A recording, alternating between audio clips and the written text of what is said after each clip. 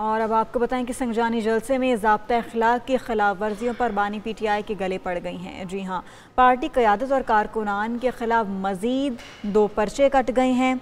और इस हवाले से आपको बताएँ तो मुकदमात की तादाद सात हो गई है। दहशत गर्दी और अमन आमा कानून की खिलाफ वर्जी समेत दीगर दफात शामिल हैं। एफ़ आई आर में आमिर डोगर समेत साठ नामालूम अफराद को नामजद भी किया गया है। संगजानी जलसे में जबता अखलाक की खिलाफ वर्जियों पर पी टी आई के लिए मुश्किल मजीद बढ़ गई हैं।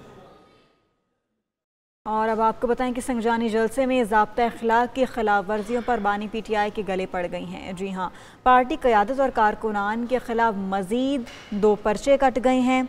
और इस हवाले से आपको बताएँ तो मुकदमात की तादाद सात हो गई है। दहशत गर्दी और अमन आमा कानून की खिलाफ वर्जी समेत दीगर दफात शामिल हैं। एफ़ आई आर में आमिर डोगर समेत साठ नामालूम अफराद को नामजद भी किया गया है। संगजानी जलसे में जबता अखलाक की खिलाफ वर्जियों पर पी टी आई के लिए मुश्किल मजीद बढ़ गई हैं।